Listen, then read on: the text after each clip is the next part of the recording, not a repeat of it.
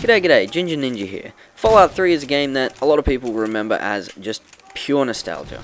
Now, it was an excellent game, game of the year, um, but a lot of people these days on PC have a lot of trouble running it. And I'm basically going to show you how I got it to run. And, hey, it works. I have about a crash every 3 hours, which is pretty good anyway, so...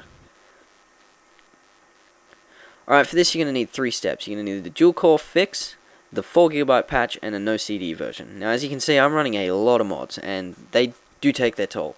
Uh, the most of which is Fook 2, which is notably um, unstable and will cause a lot of crashes, but I seem to do pretty good considering.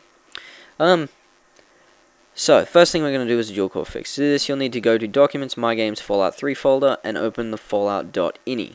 Now, what you want to do there is look for bUseThreadedAI and set it to 1, and set iNumHWThreads to 2. Now what this does is it it forces the game to only use two cores in your multi-core system because the engine can't actually manage more than that.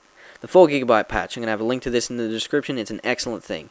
Just double click on it, uh, yes, run, now click on your Fallout 3 and hit open. Now I didn't follow the prompts, it's pretty simple to use. What that does is it allows Fallout 3 to use more than 2 gigabytes of RAM, which greatly increases stability in loading screens. I have zero issues now. The no CD version, you're going to want 1.7.03, that's the one with all of the DLCs, and it's available on Game Copy World, link in the description. That just about wraps it up, guys, um, and gals.